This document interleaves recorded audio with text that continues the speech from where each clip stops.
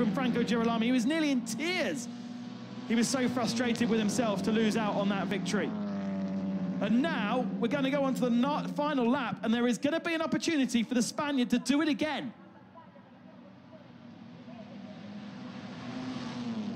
Has the momentum, has the slipstream. Girolami darting left, right, sticking to the middle of the road here. He knows, we should know, that Azcona will not be too aggressive. Doesn't need to be too aggressive for the championship. It's been an incredible drive from seventh position already. Oh, Franco's left the inside line open. And now they go side by side, a little bit of kissing. There's no need for any kissing. That's going to give momentum surely to Azcona. Surely there's going to be enough of an advantage. More contact between the two of them into the braking zone at the second chicane, and Girolami holds on. It's not over yet, though, but uh, that's going to kind of ruffle Azcona. We'll be mistrusting of what uh, Girolami is doing because there's no need to have the squeeze on like that, but uh, we know that Girolami is desperate, desperate to hold on, desperate for this championship. Any points will matter, and if they can compromise the speed, perhaps Coronel can come to play again.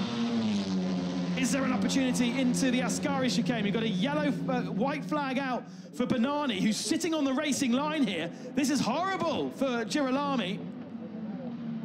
Just about gets out of the way, and perhaps that was enough to allow Girolami to hold on, because there wasn't any chance to overtake as uh, Bennani was there.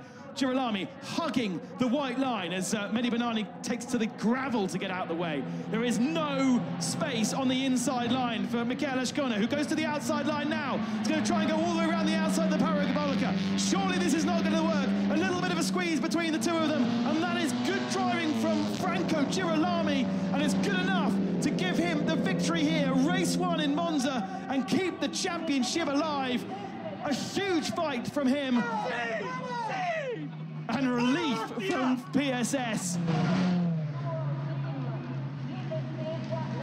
Over the line in third position, Tom Coronel, and coming across the line with a blown tyre.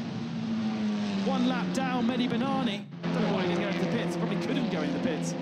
Might have been safer for him to stay out.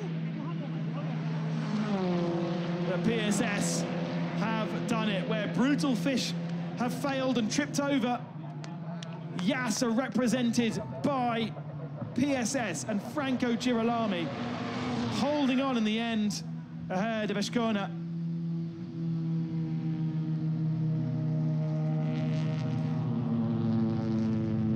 I was just worried that that contact at the end there could be fatal between the two of them, but uh, thankfully they survive to the end of the race. But what action all the way through the field, whether we were talking about first and second or 15th and 16th, they all provided a wonderful, wonderful show.